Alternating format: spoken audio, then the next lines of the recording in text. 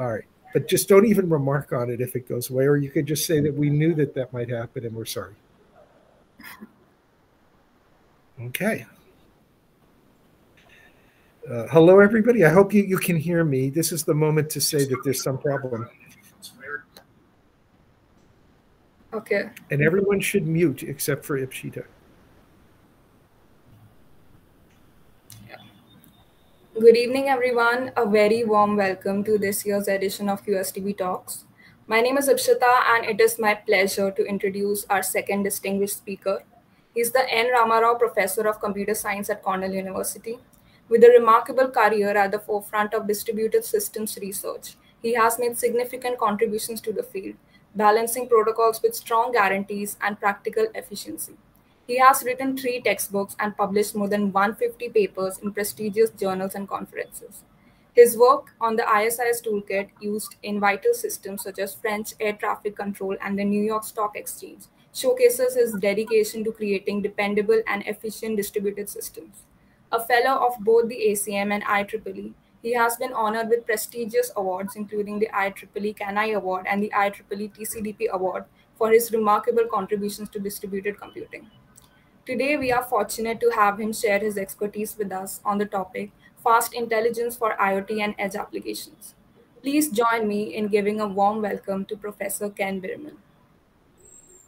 Okay. And uh, let me just add uh, thank you so much for inviting me to speak and uh, to join you today.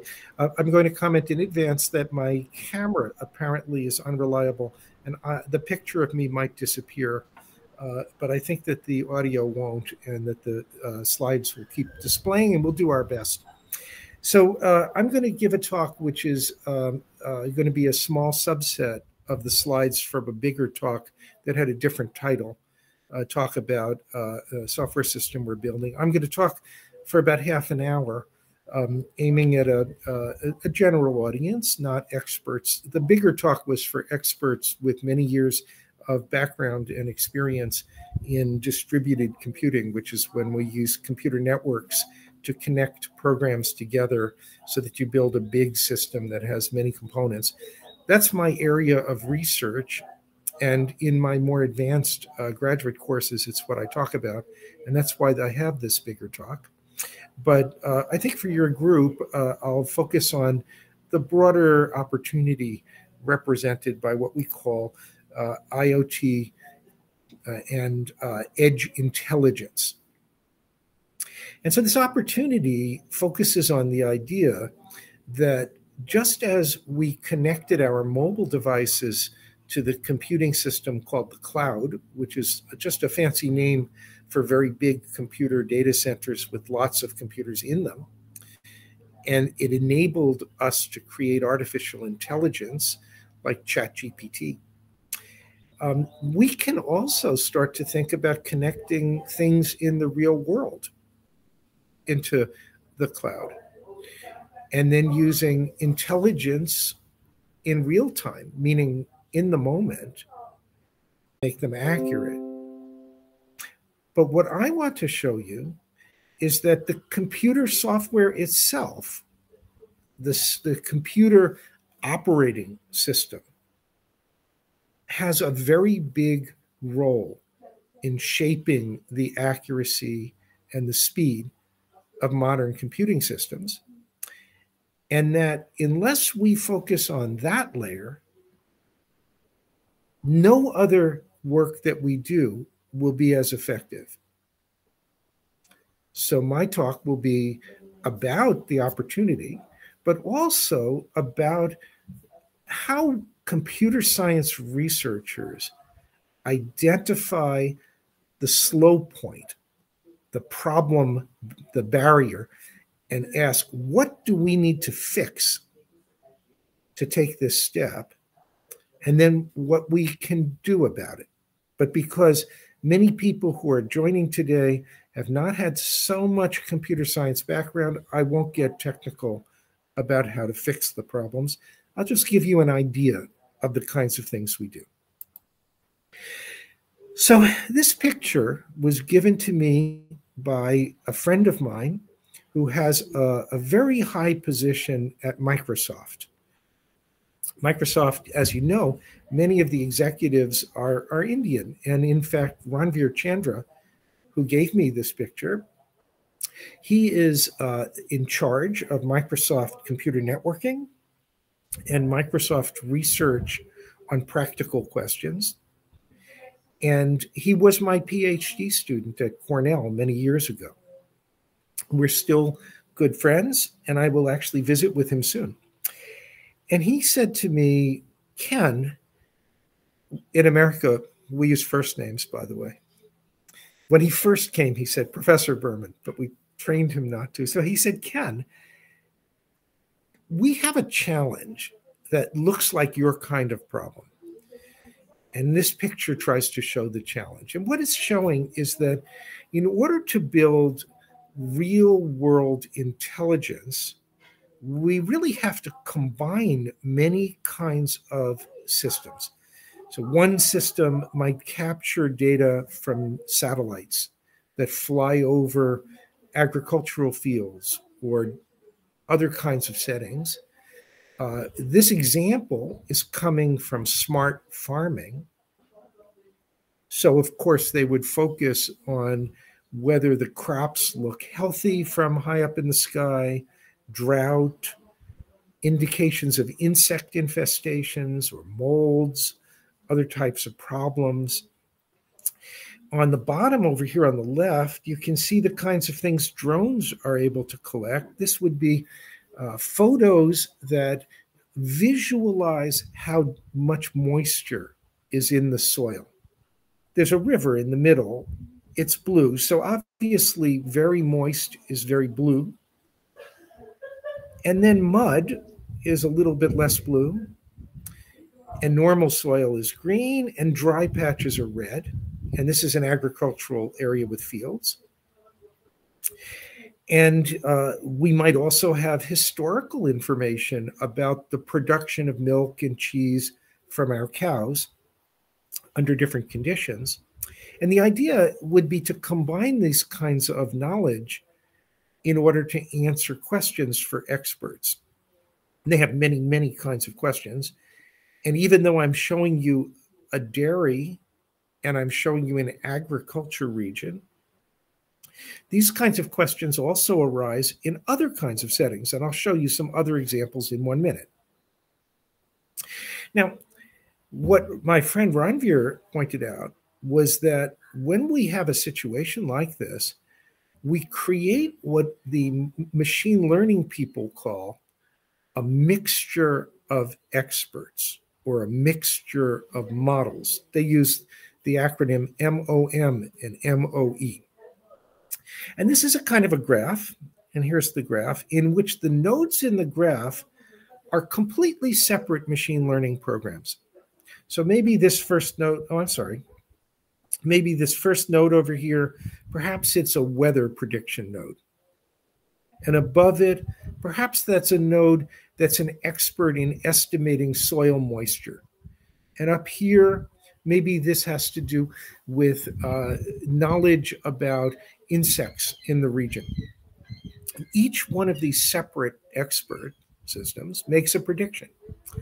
The weather says that uh, tomorrow a storm will come through. The flooding expert says that this particular area is prone to flooding. The mold prediction expert says they're going to have trouble with mold on the crops. Maybe they should harvest them today. And the idea here is that we build a layered system in which machine learning programs receive the output from other machine learning programs. And how would they do that? Well, one could write a file out, and the next one could read the file in. One could send a message. Their computers can send messages just like we can send emails. One could send a message, and the other could receive the message. You'd have to set that up in advance. As a programmer, there are ways to do that. And there are other methods as well. And the idea is that the event, perhaps that we got new pictures from the satellite, can trigger a series of actions. And it can go in layers until finally we can answer questions for human experts or we can take actions. Sometimes people call this a style of computing that's based on cooperating MLs or distributed artificial intelligence. So here we have four different names that really are for the same thing.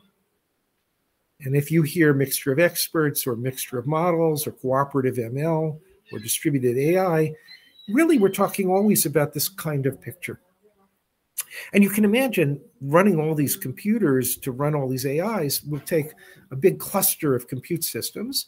So we're going to be using some kind of uh, compute data center connected to the cameras and the other devices.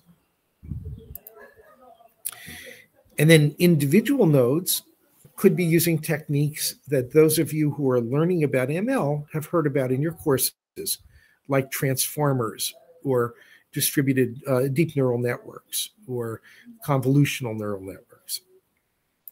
Different techniques for different purposes.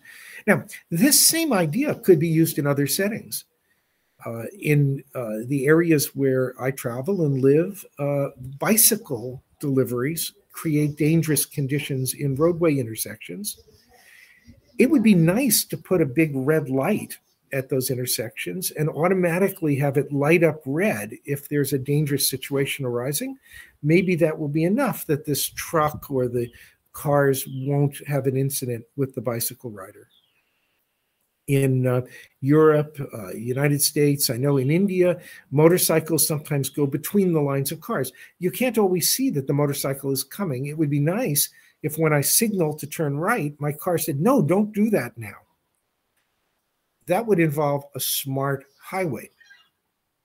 And a smart highway or a smart city intersection doesn't look very much like a smart dairy farm. But when you think about the technical aspects, they're really very similar. This is another picture that Ranveer Chandra gave me from Microsoft. It's an idea that they have that they have not been able to commercialize yet. It has a woman wearing HoloLens. That's their heads up display device. Now, these have to be very lightweight, like a pair of sunglasses. So they have compute capability, but not very powerful because heavy computing is physically heavy.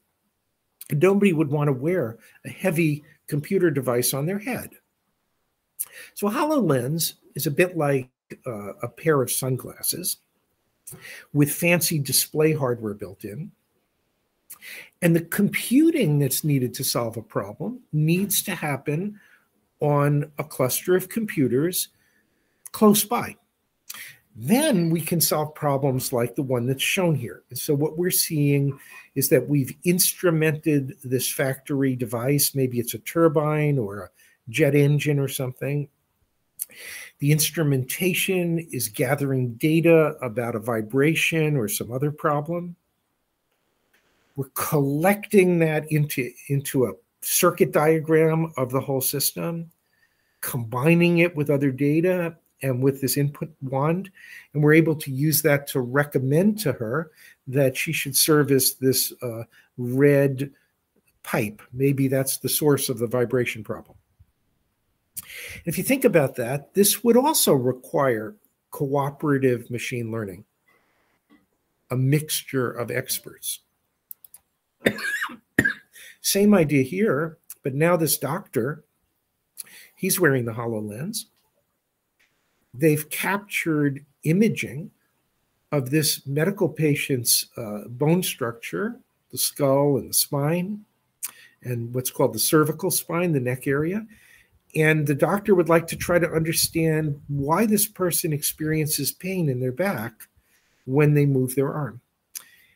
And in order to help the doctor localize the problem, we would find it necessary to align the image of the spine with the orientation of the patient.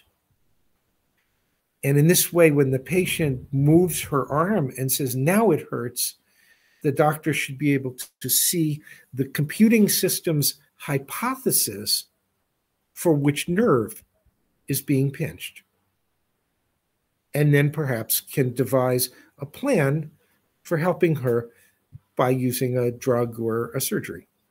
And then during that surgery, you might even enable the doctor to see into the body so that they can see what they're doing as they do it. So this leads to this idea of edge intelligence for IoT. And so an edge intelligence system is a computing system satisfying a series of requirements. One requirement is that it has to be very fast. So the word real time, sometimes one word, sometimes people hyphenate it. Um, it refers to having small delay, the technical term is latency, and high data rate, bandwidth, people talk about bandwidth if they think bytes per second, and they talk about throughput if they mean events per second. We need both.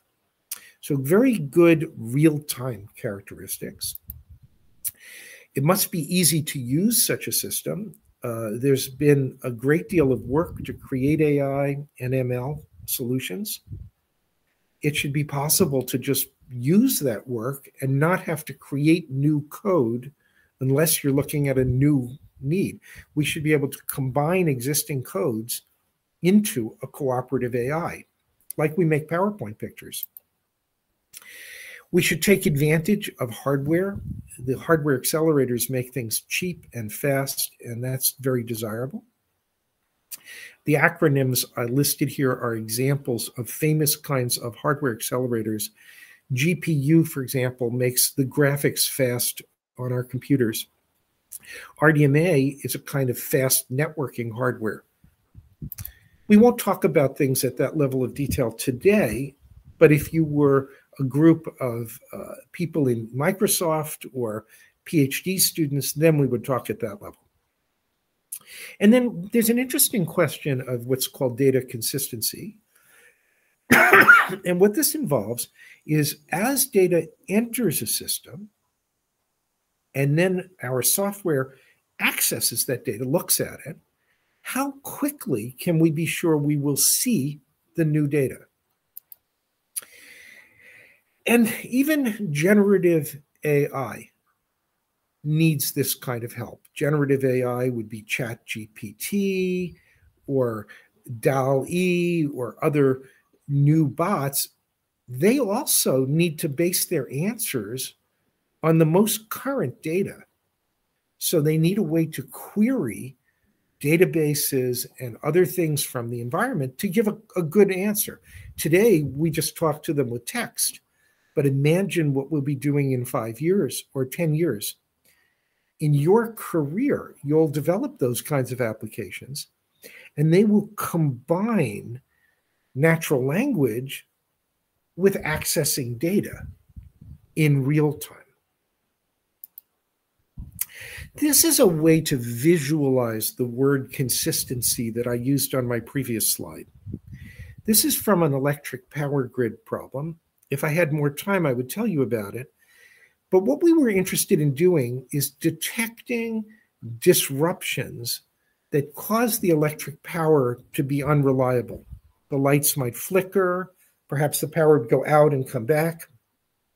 Of course, this can cause damage, the doctor in the hospital doing an operation, the screen might suddenly fl- flicker or flash. So we don't want those kinds of disruptions. Now, on the left, what you can see is that even though this this is the same data flowing through the system, and I should explain what this data really is. What we did was to make a 20 by 20 array of sensors. People use IoT as a shorthand for Internet of Things, and they're talking about sensors that capture information in the real world.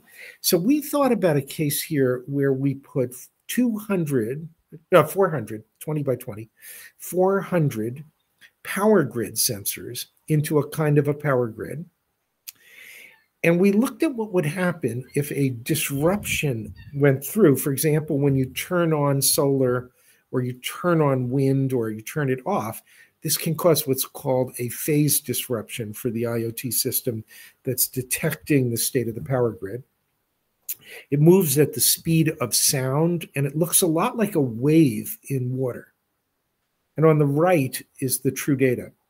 On the left is an example of what a computer AI might see if it accesses the data that was just acquired very soon after we capture the data.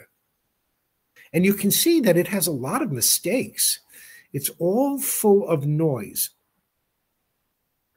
This noise is being caused by the fact that the computer operating system and computer platform wasn't designed to support real time consistent computing. So, any machine learning that we run on this data on the left is going to fight against the errors. It might see the same bicycle rider in the intersection in four different places. Or the bike might not even be visible because it's showing data from three seconds ago, all combined together, mashed together. And why is it making that mistake? Well, the existing computer systems aren't designed for real time. And unless we design a system to solve a problem, it won't do it very well. So the uh, what we call the software architecture, the protocols and the algorithms that are used inside those systems, the design of the software, wasn't designed to guarantee correct behavior. Here on the right, you can see that the problem is actually solvable. This is from one of our, our experiments, our system. But to solve it, you have to use the proper techniques. I have a picture showing some of the kinds of techniques. And I'm not going to be detailed, but I thought I would show you at this level. So when you use a modern computing system for IoT and you read data in, the data that gets put into the system actually can go into one of a collection of storage units. And this is showing six different storage units. Each of them has two computers that are working together to give a reliable, high performance file system store.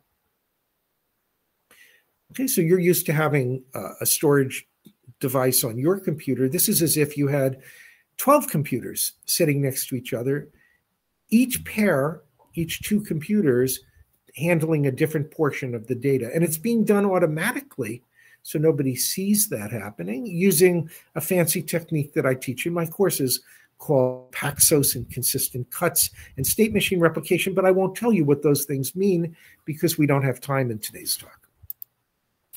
And different files get put on different pairs.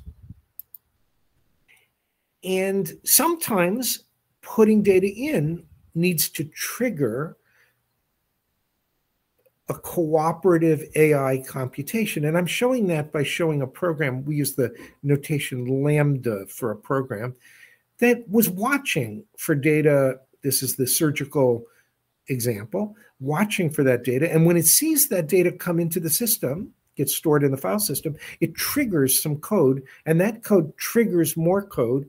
And this could be one of those graphs. You remember I showed you the graph of machine learning with one expert talking to another expert. Well, this could be an expert that asks, could this be the nerve getting pinched? And it decides yes. So it runs two other experts to try to do detailed analysis. One of them says, I think I found something that should be highlighted for the doctor. And then this last lambda number four could be to make a picture that's vivid for the doctor. And all of this has to happen in real time with consistency. Other data is coming into the system at the same time. We're not able to do perfectly accurate timing. So you're not even sure what time it really happened at the freshest data, the newest data hasn't stabilized yet because it takes time between when you take a photo and when it's in the system. We're showing that at the bottom of this picture here with the dashes.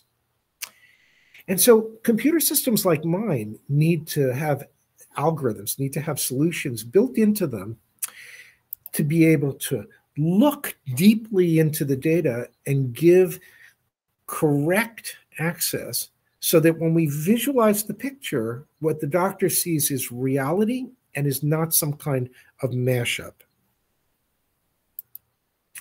There are other problems too to make this fast. And I'm going to, again, I'm going to be very high level.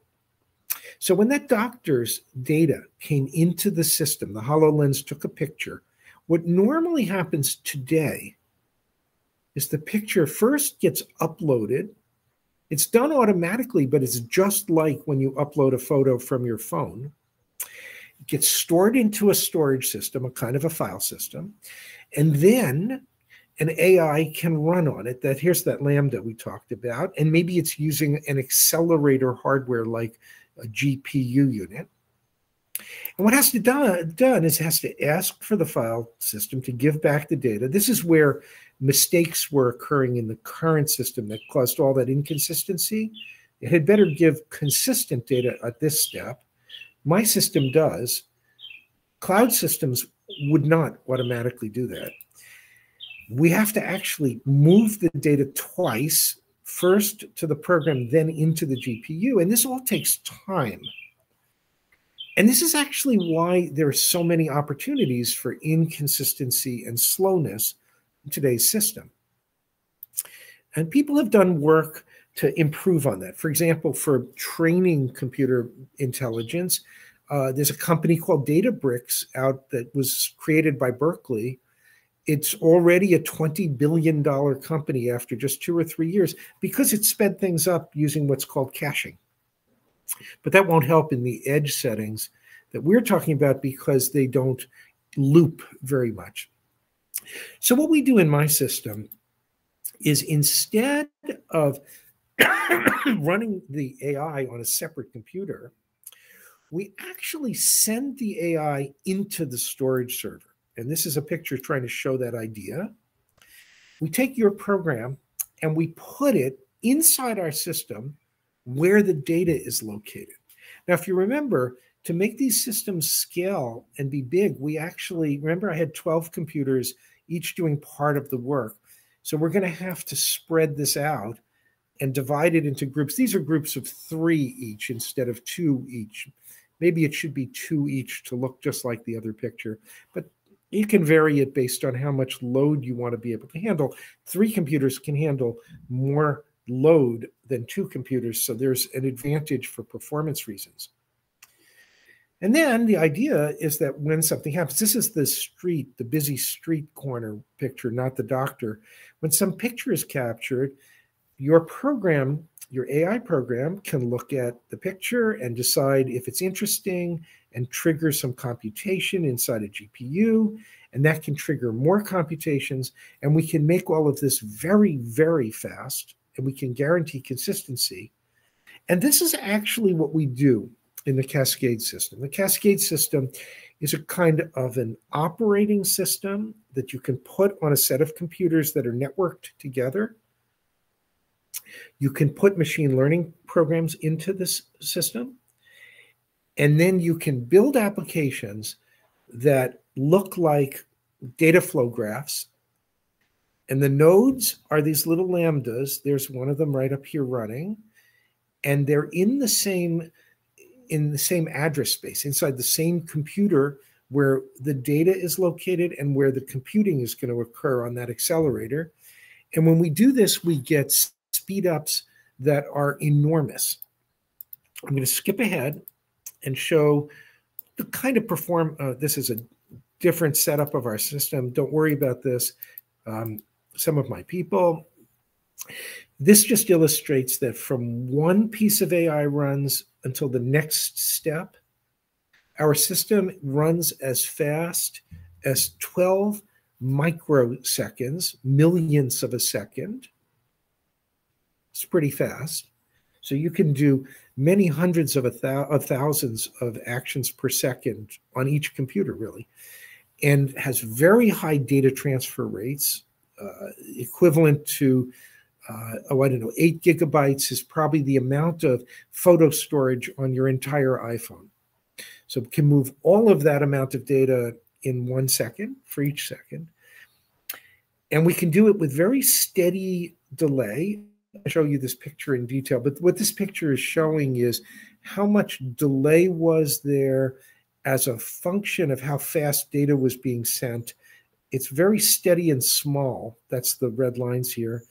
Uh, here we varied whether we had one copy or three copies. Remember, I showed you replicating data to have fault tolerance and have more load capacity. It doesn't make much difference for the small objects. The small objects are tiny little thumbnails that have uh, one kilobyte of data. The medium objects are a little bit bigger. The higher resolution photos, you can start to see the difference between making one copy and three copies. But the point is that putting the data in is extremely fast. That's the left axis until the system's overload. That's why it's flat and then suddenly it spikes up.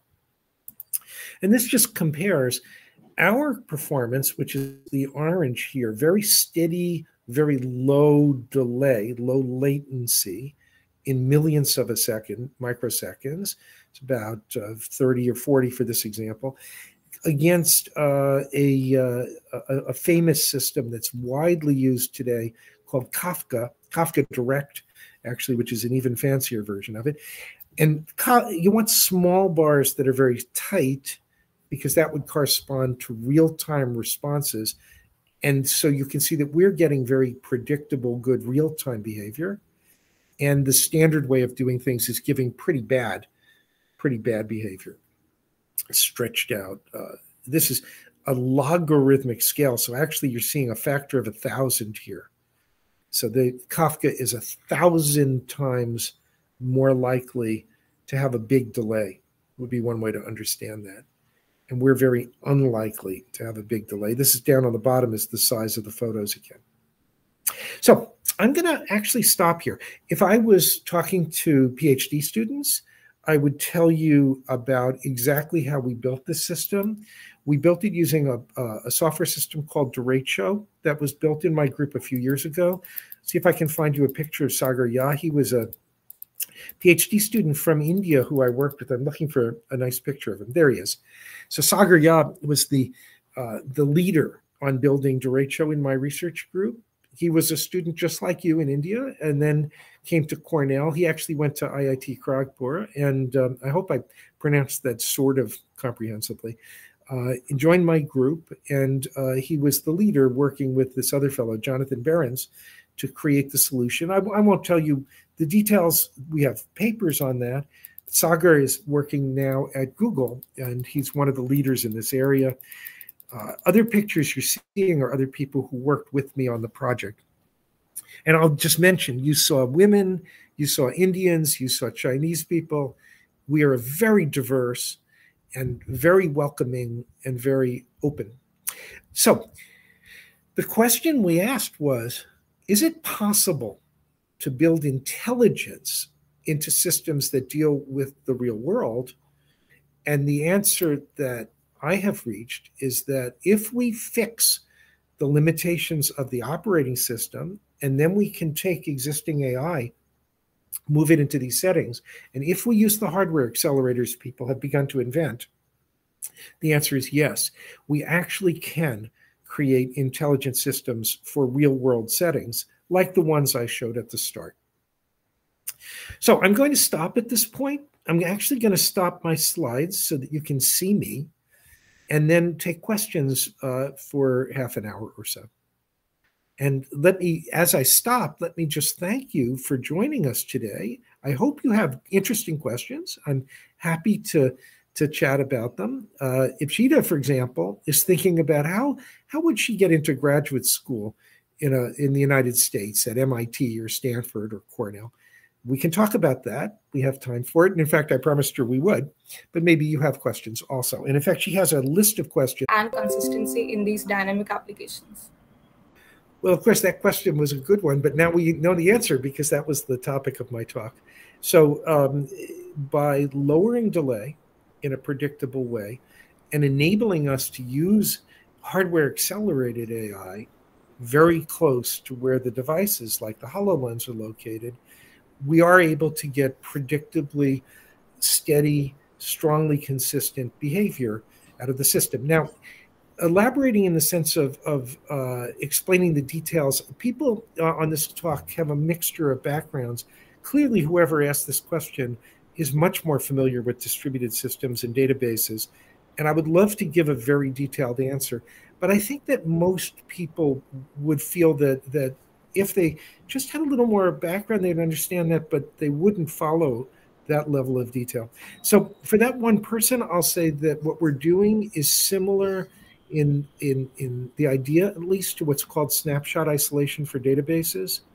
Uh, that we do it by splitting the input side of our system, the data flow in, separate from the uh, data query side.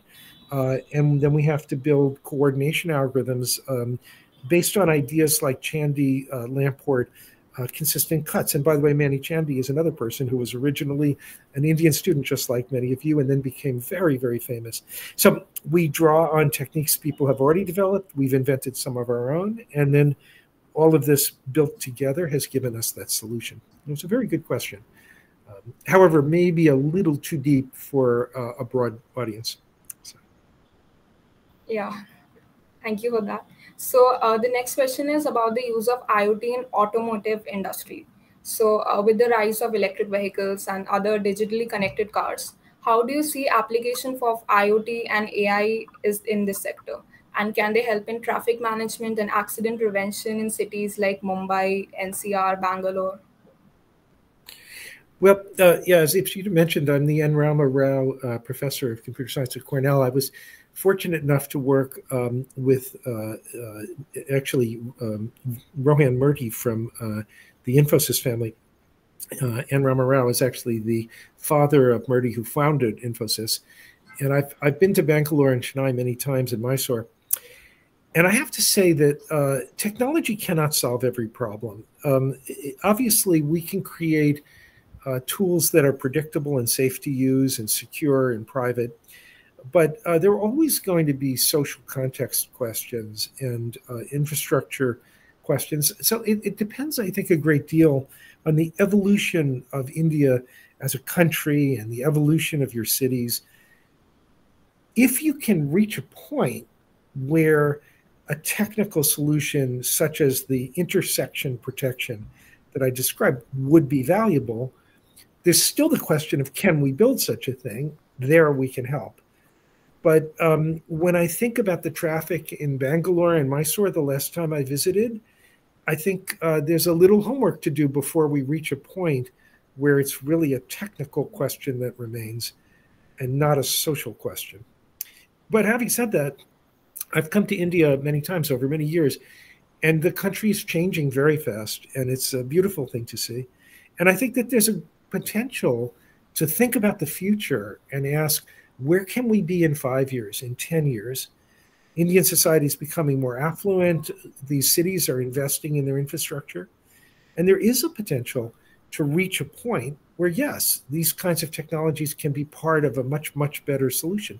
And if we think about the pollution, which is a problem in places like Delhi, less of a problem in Bangalore, at least when I've been there, in Chennai and Mysore.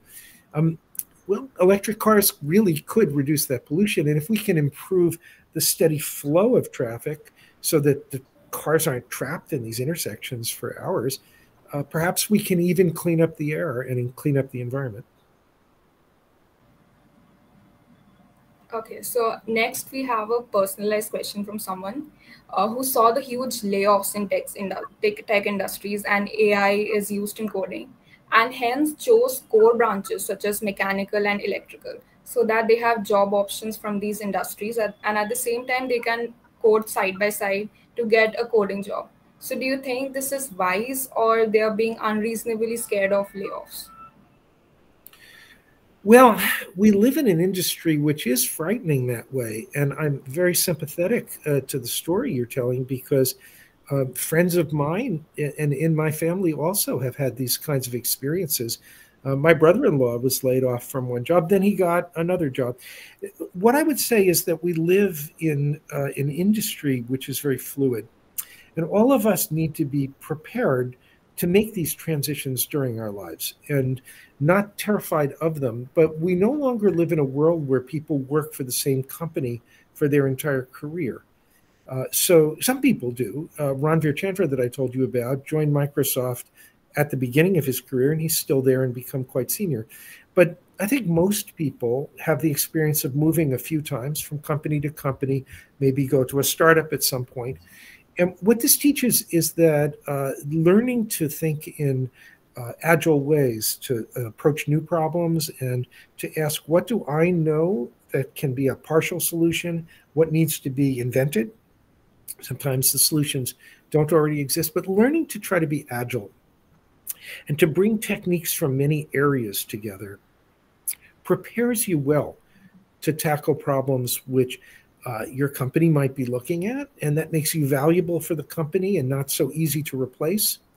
And it also means that you're a contributor uh, to what become the products that produce the next generation of, of revenue. And so you're financially rewarded and more secure.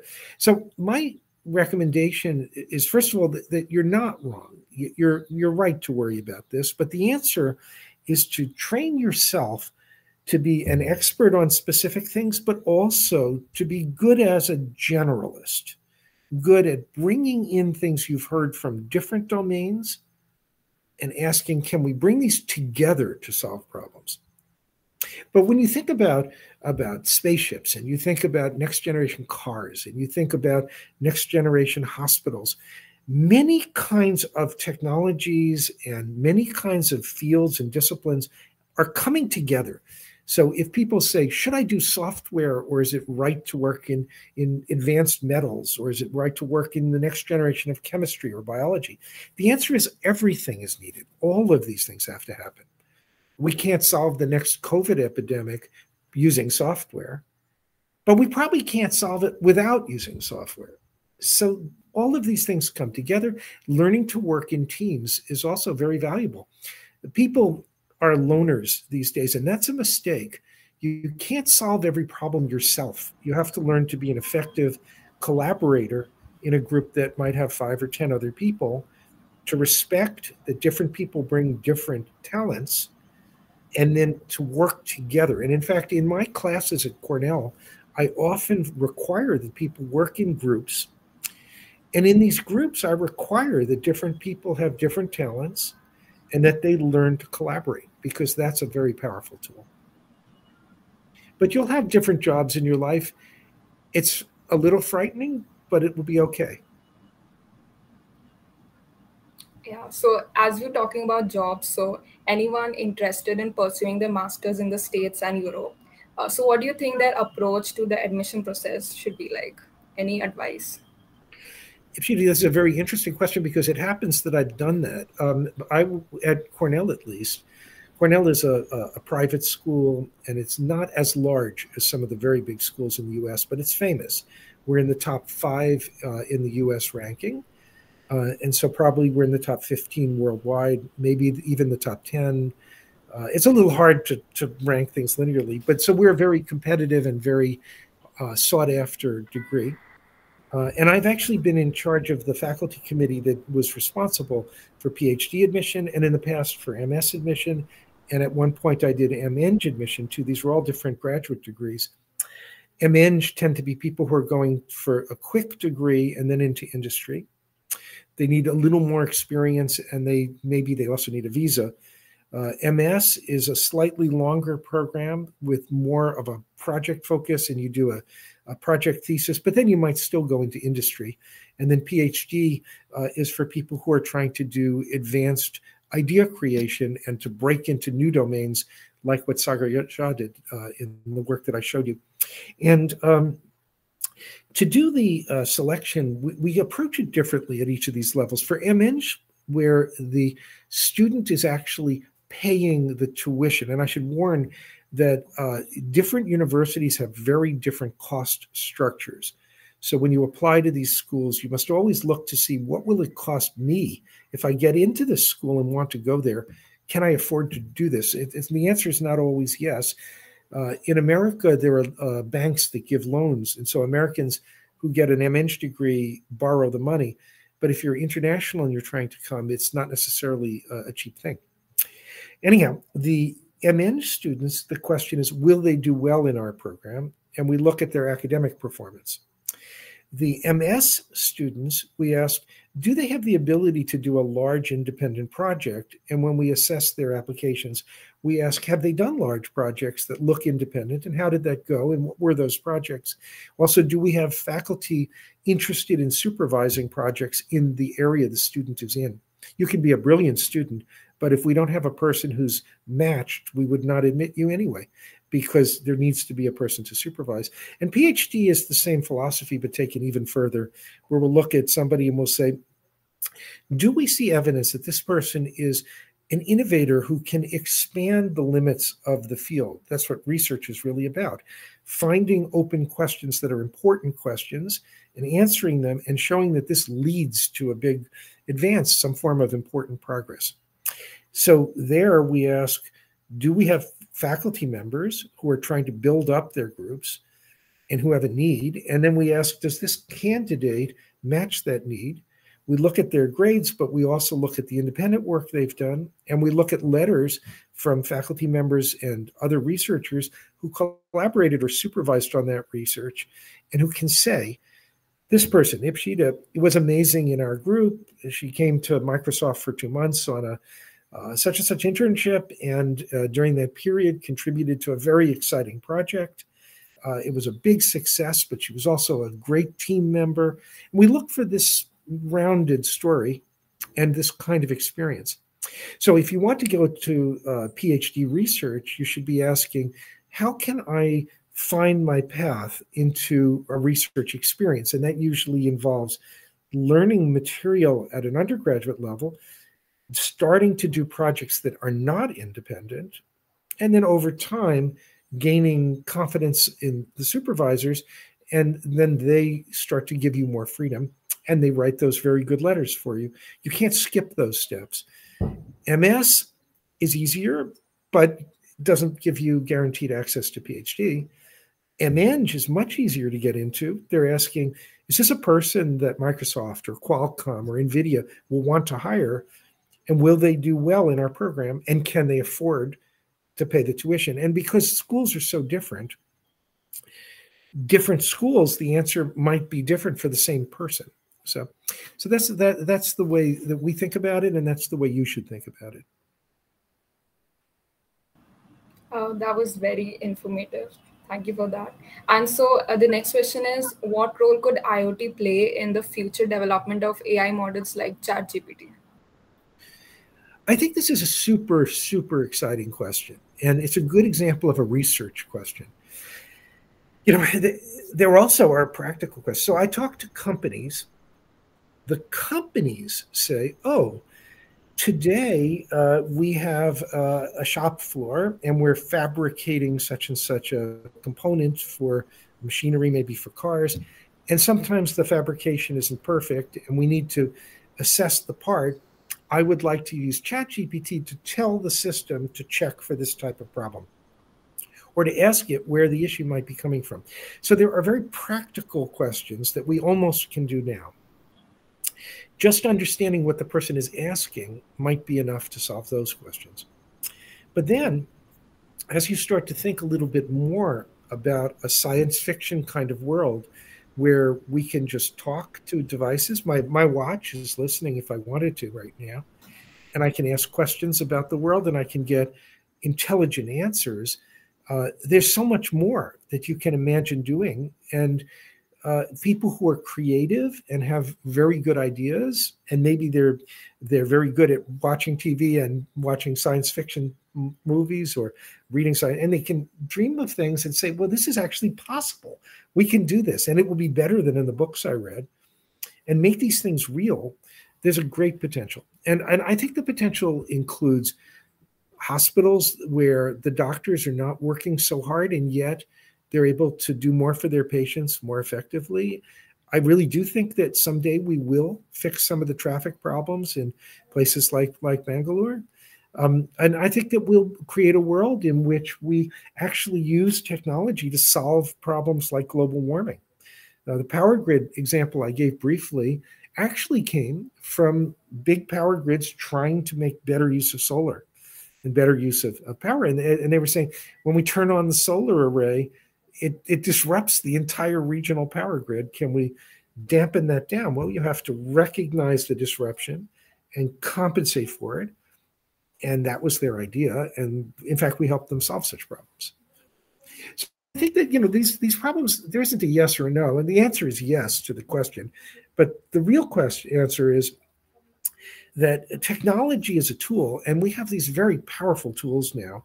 And what's needed is for clever, resourceful people with good training to come and say, here's a problem I'm excited about, something that I have a person.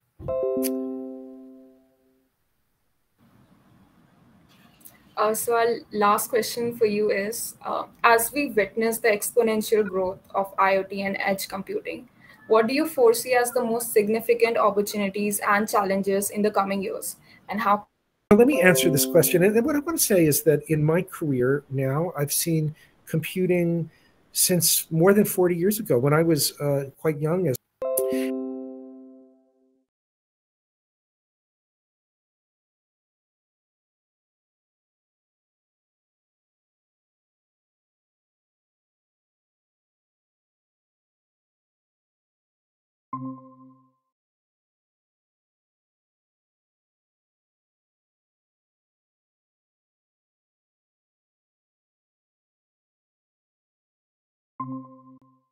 they would face challenges that are quite hard. And they're not going to solve those so easily. So people can say, oh, look at how rapidly we're advancing. These cars can drive themselves. It's true. It's very impressive. And yet, you know perfectly well that if we deployed all of these self-driving cars they would create accidents they would go off roads they would misinterpret things they already have this problem even in san francisco they have intersections where the self-driving cars all reach the intersection and none of them advances. And they all just pile up. There's also there was a famous one some poor woman she lived on a street. Every self-driving car from uh, tesla i believe um, would drive onto her street turn around in her driveway and drive off. Hundreds and hundreds and hundreds every hour. Just all of them driving and turning around. Somehow it was a bug of course. So when you see people who talk about exponential progress you have to sort of set that to the side in your mind and say yes we're making amazing progress ChatGPT is remarkable because it lets us understand what people are saying much more effectively and that enables sudden progress on a bunch of questions but ChatGPT is not real intelligence and that tool is only a tool. And almost as quickly as it takes off, you begin to exhaust those opportunities. And it gets much harder because you're suddenly looking at things that require real intelligence. ChatGPT, no matter how many trillions of parameters we give it, isn't really intelligent. We haven't figured out how to do artificial general intelligence, no matter what anybody will tell you those cars, the failure they have is because they're not artificially generally intelligent. And when you watch a movie where, you know, artificial general intelligence just pops up, that's not how it's going to happen. It took humanity a billion years to get to the point where over 10 or 20,000 years we could develop what we have as intelligence now. It's going to take a long time before computing reaches that point. So I think it takes a degree of humility and it takes an understanding that each technology area, an advance occurs, it's disruptive and change. Everybody gets overexcited. Think about crypto. Three years ago, all your friends were only talking about crypto. Now everybody's wondering is this really just tax evasion? Are these people basically creating NFTs for really bad photos and then somebody's buying them for a high amount of money? Does that make sense? And you have to ask this about almost every area. Chat GPT people talk about, you know, automated doctors. Well, doctors have to figure out what's wrong with you. Is it really true that Chat GPT could do that? I don't think so. On the other hand, Chat GPT might understand a question much better than the previous systems. So it takes a degree of humility to work in technology, and you need to never let yourself get overly excited, but also not to be too pessimistic either.